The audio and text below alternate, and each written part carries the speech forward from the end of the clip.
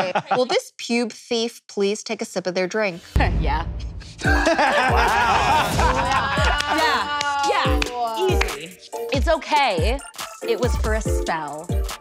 I was doing Oh, witchcraft. no, enough said. Oh. Enough said. Say less. Okay, so did it work? Nope.